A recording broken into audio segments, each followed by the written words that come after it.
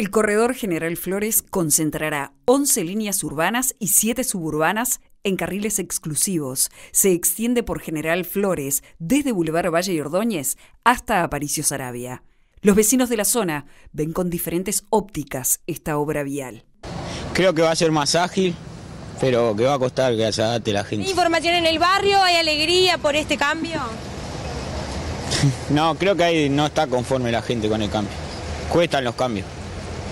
Pero en tu caso... No, sí, yo lo veo como que va a ser positivo al futuro. Esperábamos que el tránsito fuera más, más fluido y no sé, eh, tenemos nuestras dudas. General Flores no es tan ancho como para haber hecho este tipo de, de corredor.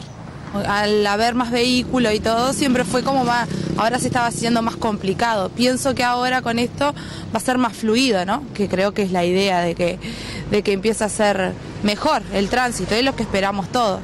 Las críticas a la demora en la construcción del corredor General Flores, la oportunidad para hacerlo o el impacto que tendrán en el comercio son partes de las críticas que maneja el centro de comerciantes local. Nosotros estamos muy preocupados porque acá se va a repetir más o menos lo mismo que pasó en Garzón.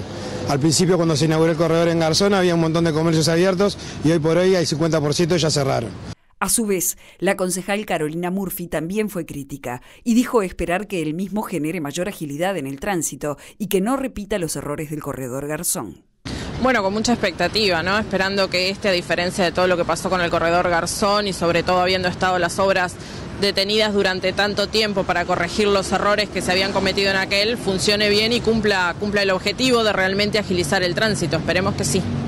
Desde la Intendencia de Montevideo se asegura que esta vez se han tomado en cuenta todos los aspectos técnicos vinculantes al proyecto. Se tomaron en cuenta las, las observaciones de ellas y se hizo y, se hicieron las correcciones que, que, correspondían, o sea, que eso ya se tomó en cuenta. O sea, en principio no deberíamos esperar ningún inconveniente. Colocaron siete semáforos más, ahora el corredor tiene 13 semáforos. Bueno, se han hecho construido las paradas en el centro, son paradas anchas de 3 metros de, 3 metros de ancho. Digo, digo, para que la gente se haga, se haga una idea, una parada de 3 metros es una, una parada, una vereda de 3 metros es una vereda de las comunes que hay en Montevideo, es decir que aquí los peatones, los pasajeros van a estar cómodos esperando, esperando la llegada del ómnibus. ¿Con, esos siete semáforos no se enlentece el tránsito? No, porque se supone que esos semáforos van a estar coordinados. La directora de movilidad anunció que la comuna hará mediciones de los tiempos de viaje durante los primeros días de funcionamiento y que estas cifras darán a la Intendencia datos concretos para estimar el tiempo de ahorro en los recorridos de transporte.